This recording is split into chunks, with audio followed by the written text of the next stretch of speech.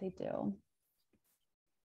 Okay, well, thank you so much for um, adding to the Jamboard, engaging in that, and feel free to continue to add. Um, yeah, Sam, I added an agenda. Well, if that's okay. Um, no yeah, I just want to forecast um, how we're going to spend the next 40 minutes together. Um, or actually, no, we have more time than that. The next less than hour together. Um, so first, we want to share on a background on this project. Um, this workshop is part of a a longer term project that we're calling phase one and phase two right now. So I'm going to share um, a bit of background on phase one, which is the analysis of this curriculum right here, Google's Be Internet Awesome curriculum. And then Sam's going to share um, where we are now and what we're calling phase two, which is thinking about um, a framework for um, doing that sort of analysis with media corporation created products. And then we're going to do an activity together in breakout rooms um, where we're going to co-analyze a Be Internet Awesome lesson. It's kind of like what we did for the analysis. It's fun, I promise. Um, and then we'll come back together um, for some discussion questions and a debrief. So I'll, I'll start with um, giving some background. So we've been we've been working on this project for over two years, um, which feels like a long time ago. Um, but we were first introduced to this curriculum um, be Internet Awesome at the 2019 NAMLE conference. Um, and if you were an attendee at NAMLE that year, you could walk away with this curriculum, which is like a, a fairly a thick book. Um, and then some of the materials in that picture there, like some, I think there were some stickers and some stuff like if you were a parent, some like what you could tap into at home. Um, and we were really curious about this product and as a at the time i was a middle school digital media literacy teacher and i honestly had never heard of this um, which was interesting to me um, and so the fact that this was being presented um, that this was available at a media literacy conference we um, really wanted to take this seriously as a, a media literacy resource a media literacy text.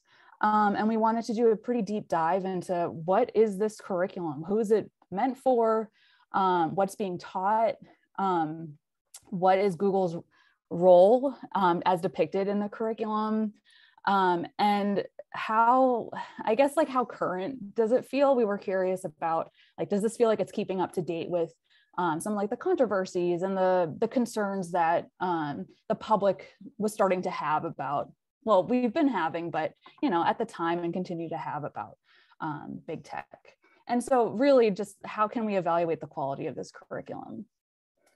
And so when we think about that, um, we were thinking about the curriculum, two dimensions of the curriculum, the content and the pedagogy.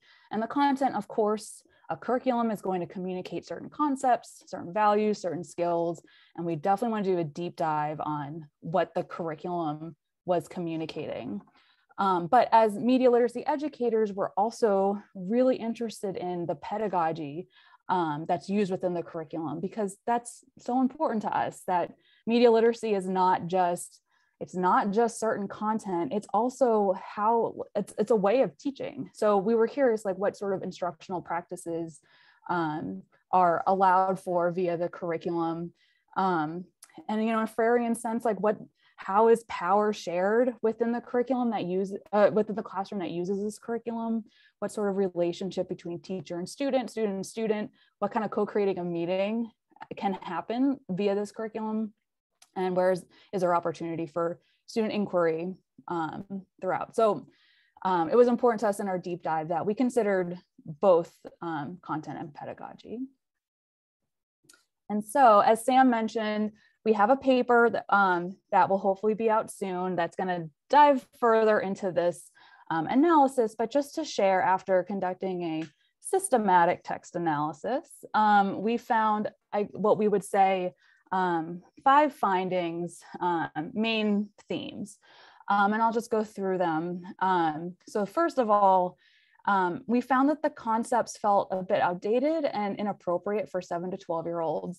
And I'll just say the curriculum is meant for second to sixth graders. And as someone who taught sixth graders, I I don't know how a single curriculum can be appropriate for both second graders and sixth graders. Like that just feels like a huge range. Um, so that is um, curious.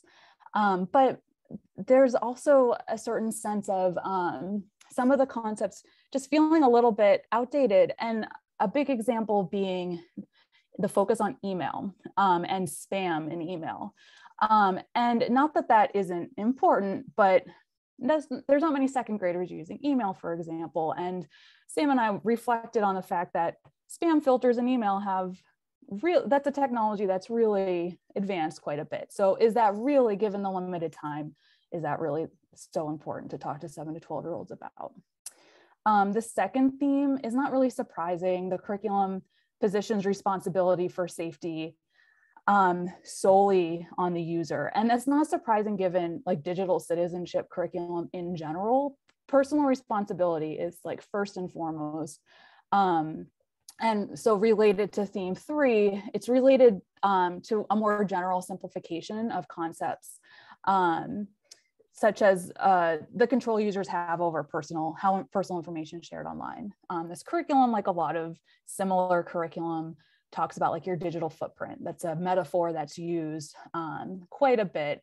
Then the sense being that you have control over what becomes part of your digital footprint.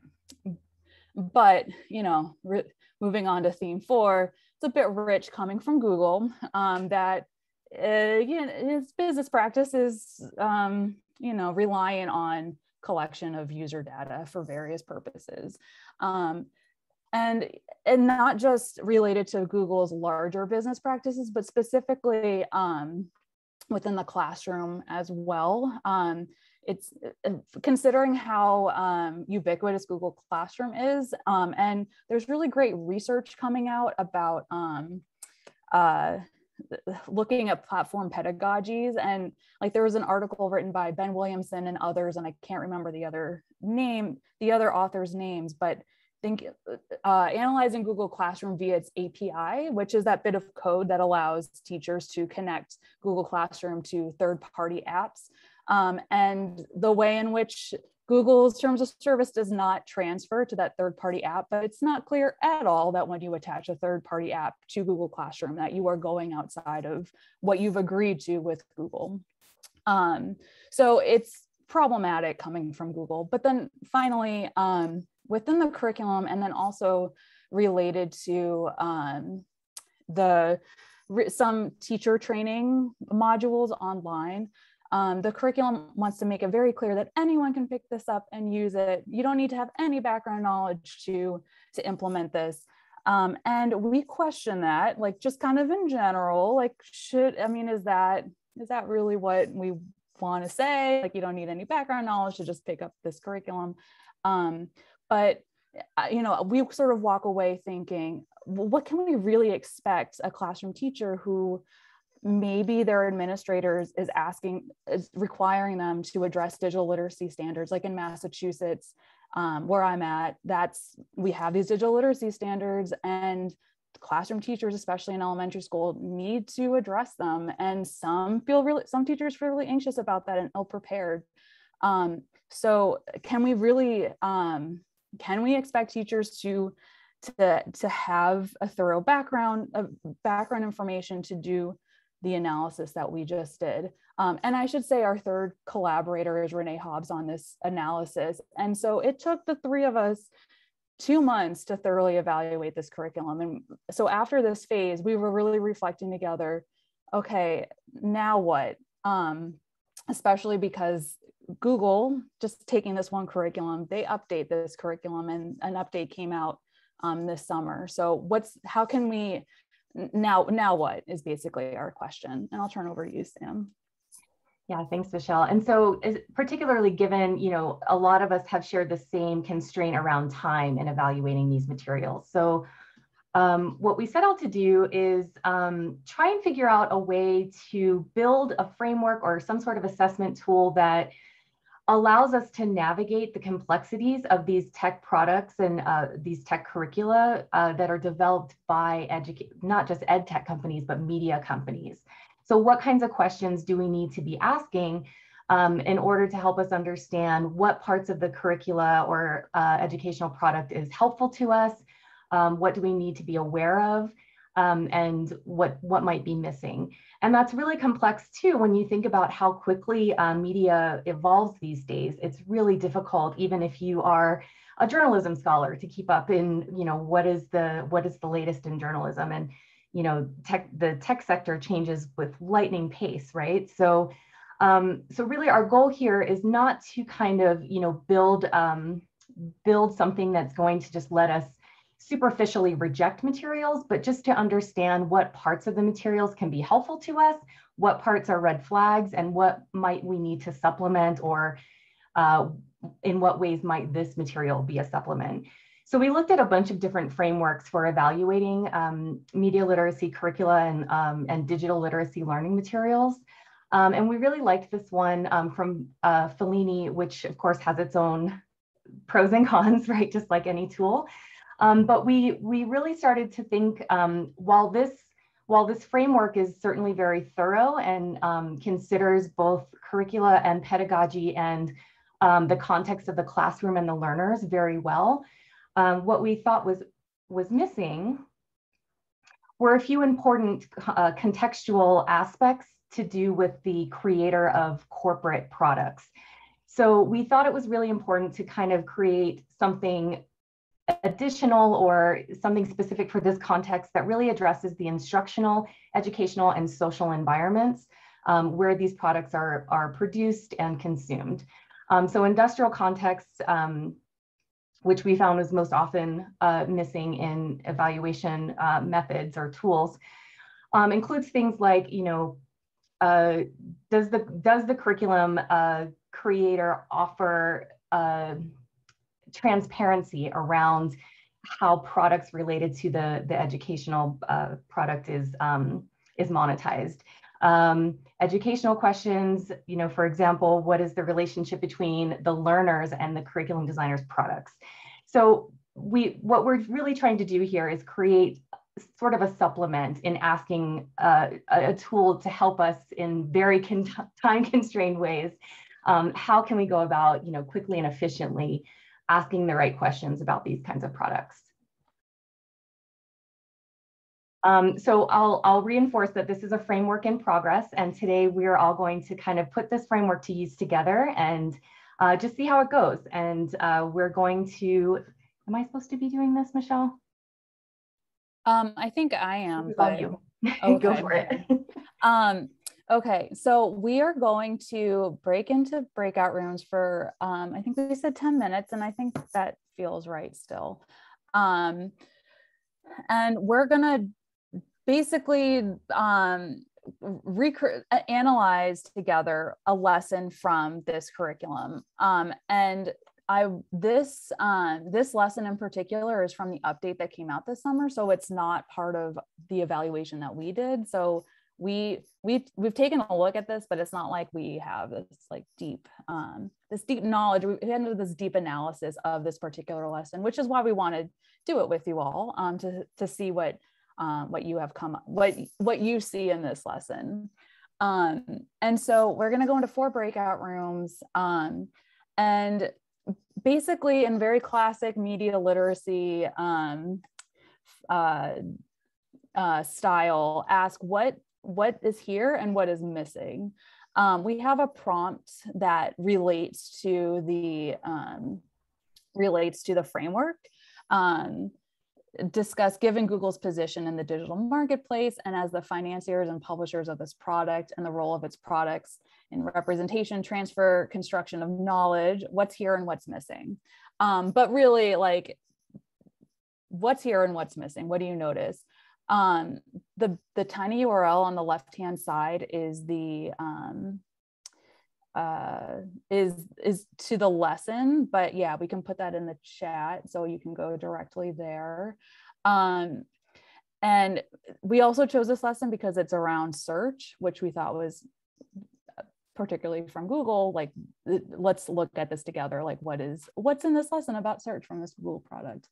Um, so you can every there's four four boards for each group um, and you can add sticky notes or just text um, to this table. Um, are there any questions? Have i been unclear about anything for this? Okay nolan yeah.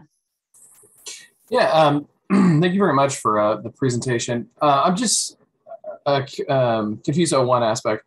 Are we applying the framework as you two have, or sorry, you three have designed it, um, or are you asking us what's there and what's missing um, based from our own to frameworks or analysis? Um, I would say either or. Uh, when we come back to discuss, one of our questions is, what do you think about this framework that we are proposing?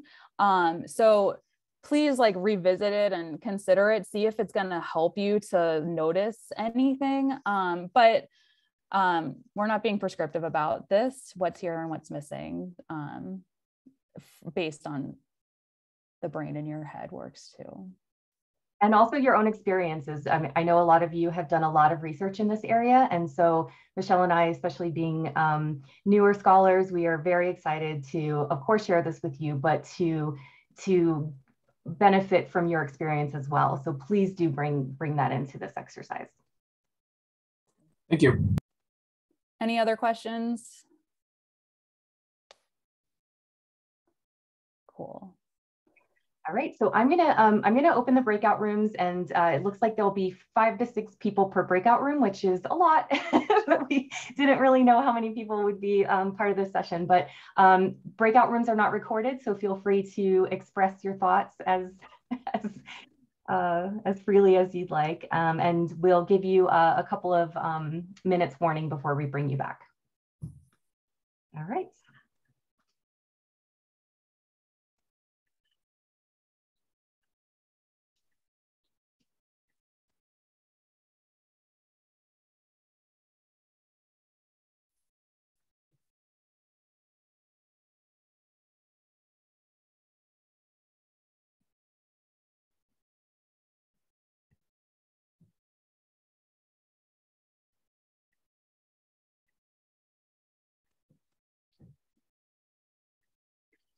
Okay, so we're at 409. So we're doing 10 minutes total on this, yeah? Yeah, I think that still feels right, right? Yeah, we can keep an eye on what's happening sticky wise, so.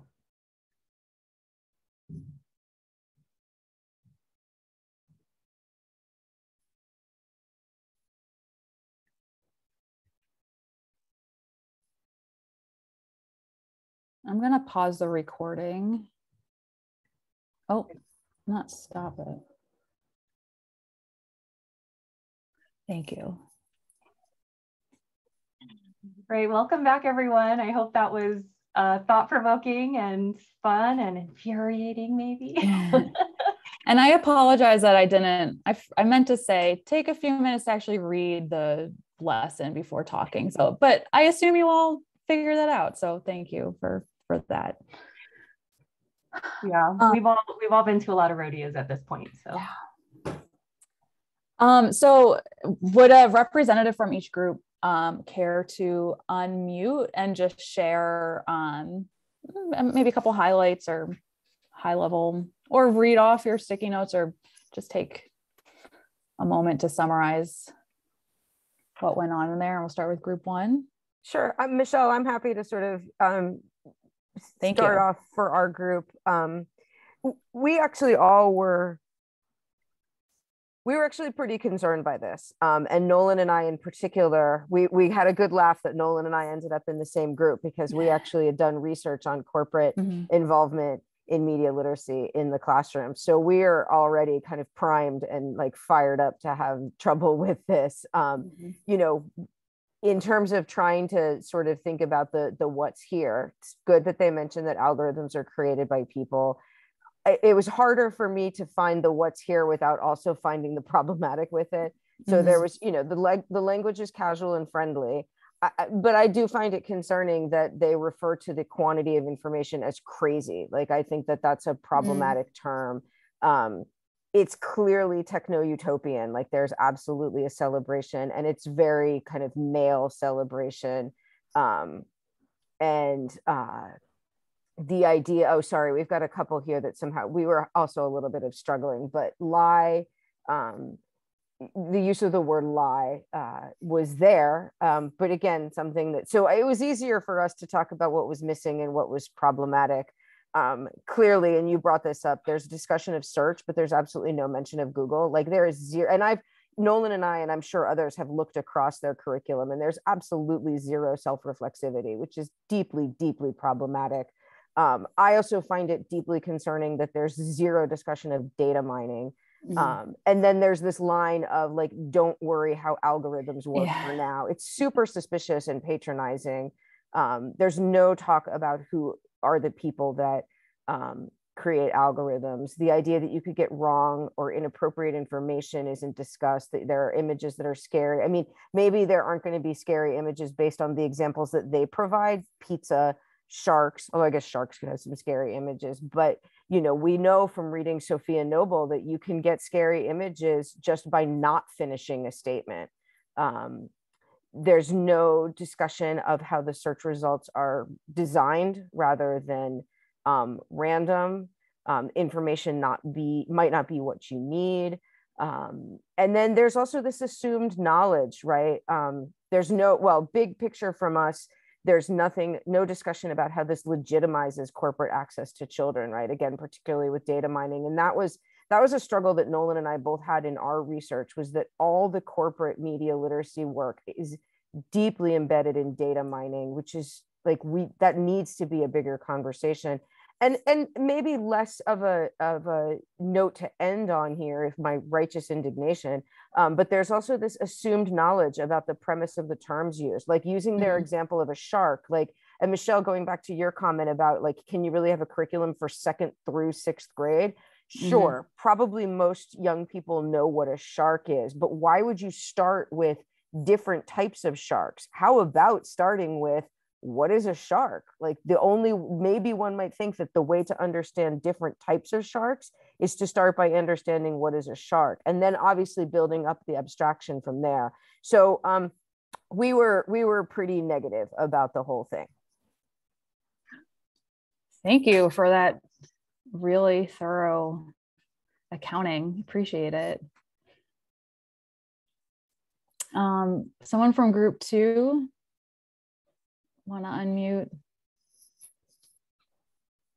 We thought it was a pretty useless lesson. We've got a bunch of students sitting around working with paper.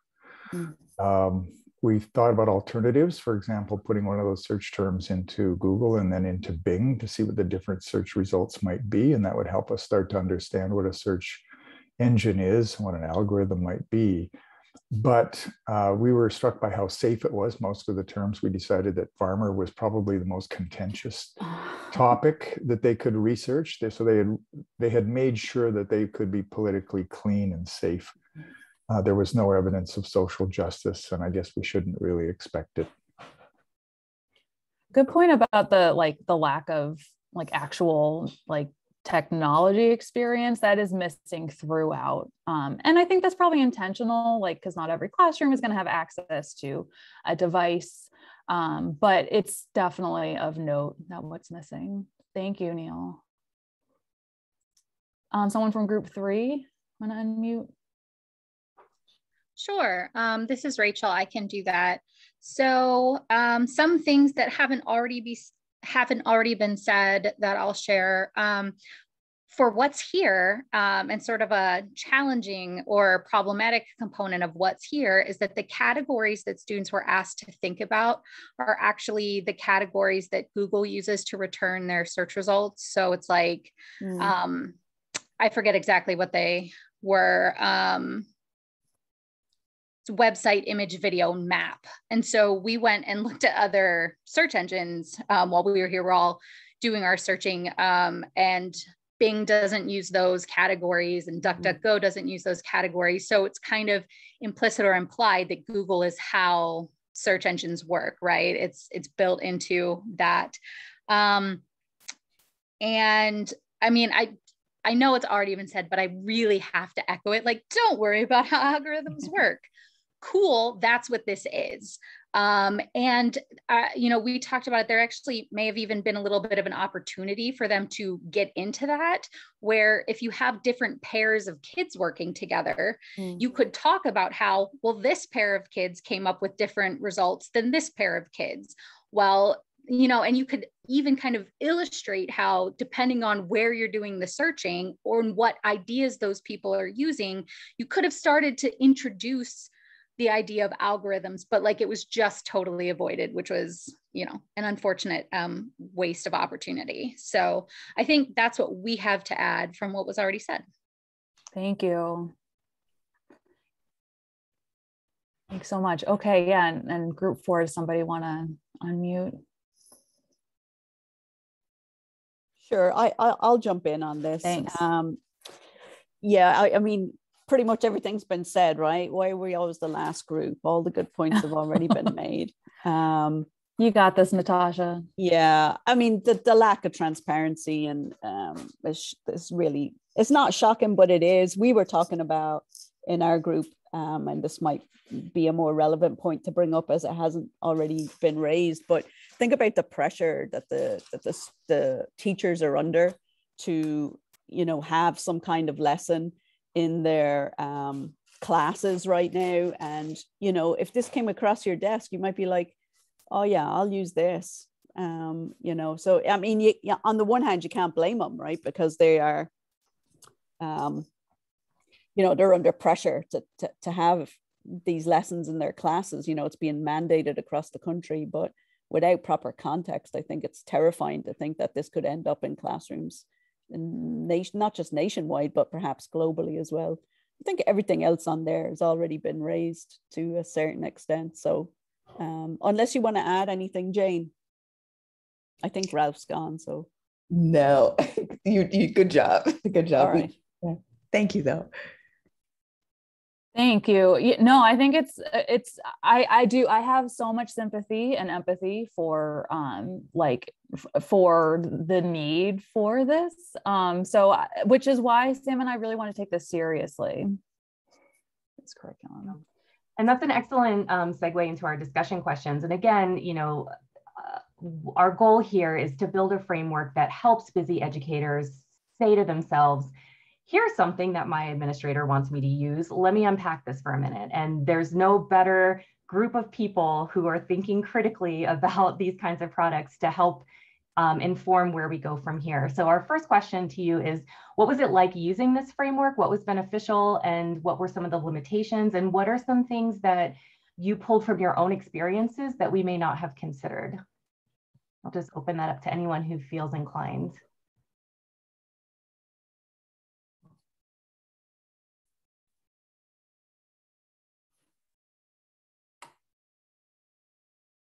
I'm sorry. Could you can you can you clarify? Maybe this is like sort of a one-off question, but what do you mean by framework? You mean this assignment or working in this construct? Um, I suppose working in the construct. So, like we said before, we started the um, before we started the uh, exercise to clarify uh, Nolan's question. Um, did did did we want you guys to use the framework that we put together that we've been working on? And I'll I'll bring that back up. And we sort of put those into the questions themselves, into the prompt on the page. So from looking at an industrial uh, context, educational and social context, was this a helpful framework? Um, or did you not use it, which may well, may well have been the case.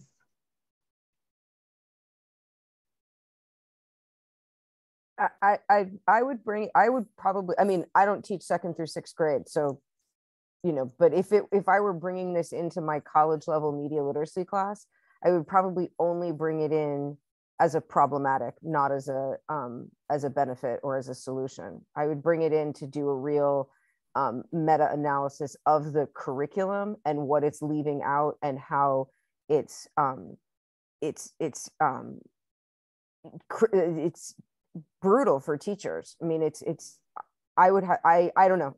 I would pretty much only use it for the negative.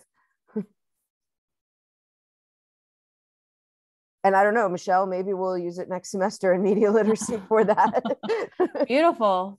you can you can come in and guest lecture one day or more than one day, and we can you know kind of uh, talk about the you know problematize this further. I would love that.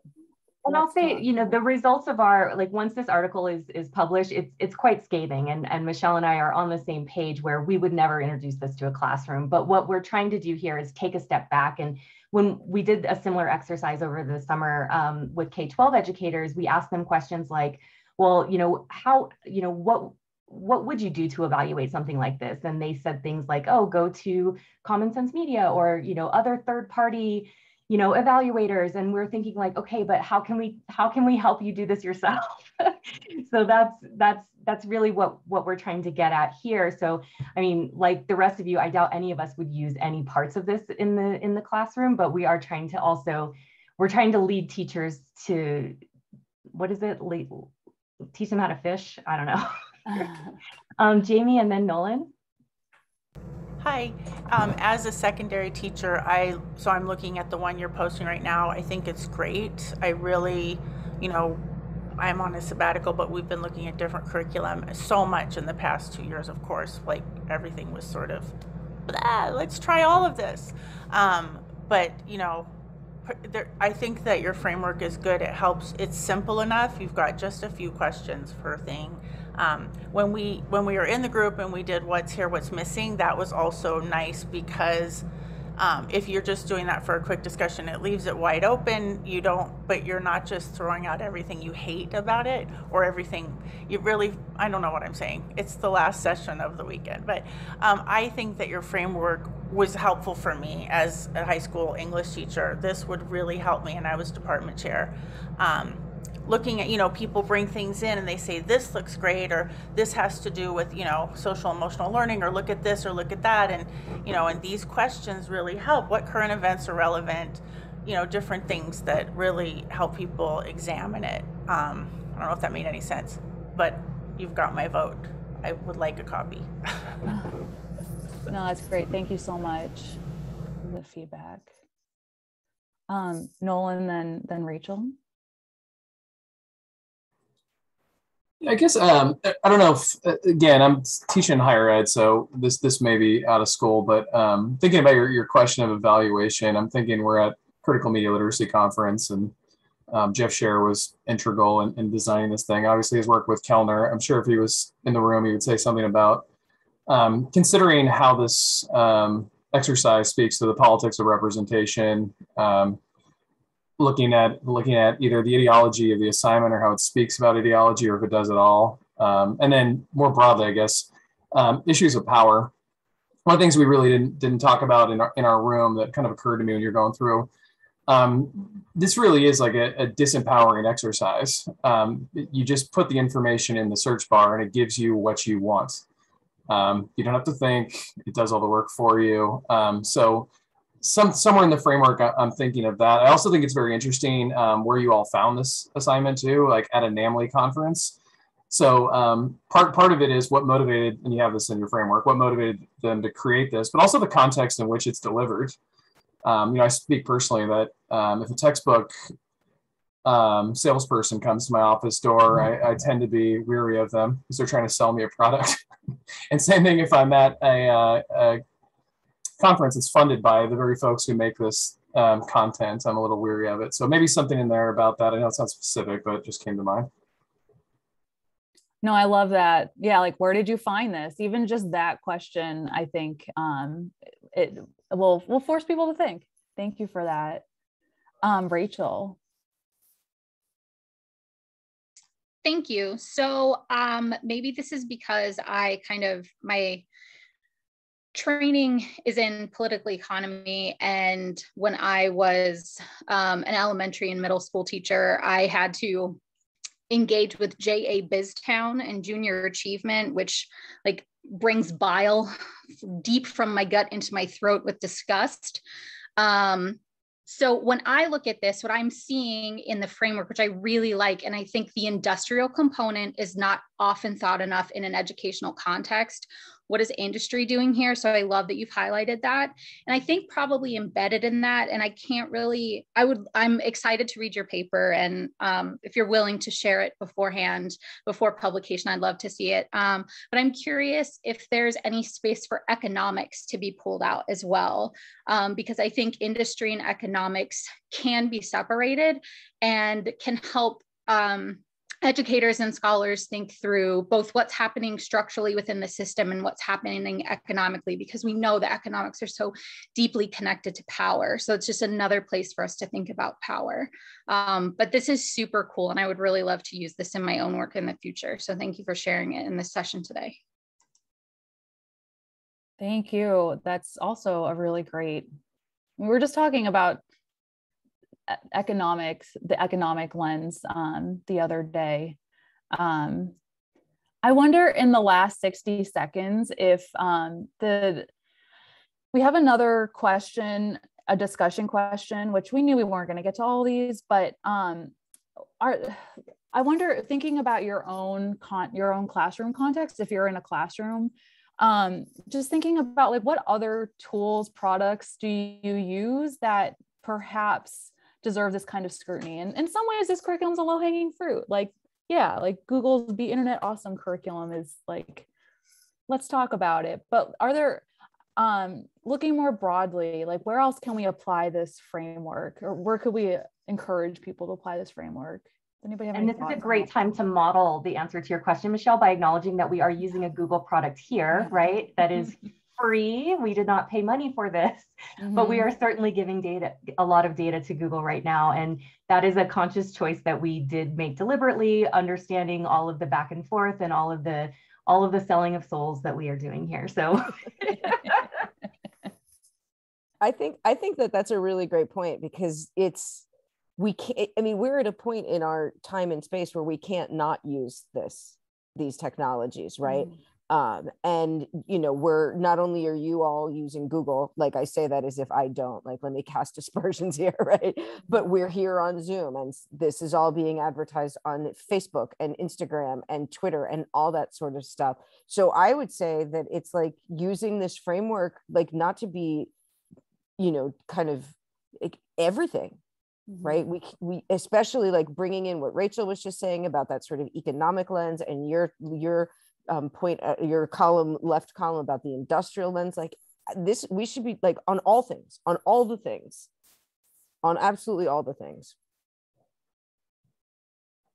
i do not disagree with that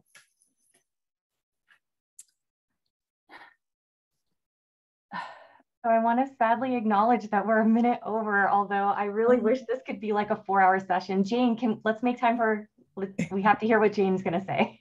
Oh no. um, so I just want to say that yes, in in in collaboration with the other colleagues and people who have who have spoken about and, and, and talked about these things, um, it it we as media educators and scholars know how to search and, and kind of cobble together assignments to make sense. Um, with regard to the use of these platforms in social networking and, and Google and the sundry of products that they offer, these are tools. And what we want to impart to our students and to other colleagues and other educators who are learning and, and growing their media literacy curriculum and, and their repertoire is that we don't want to be victimized by our use of these tools. And we want them to be of service to us and then understand that if these tools are asking us to be in service to them, kind of like how we are in this discussion now, um, that that that we understand the reciprocity or the reciprocal nature of that of that relationship. That's all that we're aiming for. Mm, well, that's a great note to end on. Thank but you. I'll say Jane has ended like quite a few sessions with like mic drops like this. oh my goodness. thank you all. I appreciate it. But you know, you know, thank you for that, Jane. And thank yeah, you all for for participating and um and and yeah, and for your feedback. And if you have any other feedback, we would love to hear it because this is something that we want to make tangible and make make into something that teachers can actually use um, in their own work. So thank you all. Thank you all. Yeah, thanks everyone.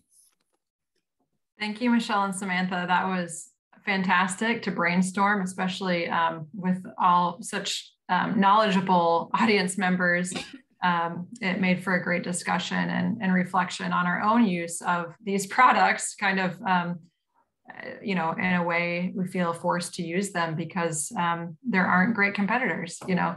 Um, so thank you for uh, bringing this information to light and that that good framework, you know, that we can use in the future to analyze other um, corporate created or non-corporate created media education products. Um, so hopefully we'll see you all at the next, uh, you know, closing session and it'd be great to stay in touch in the future.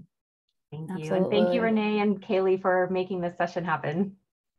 Yes.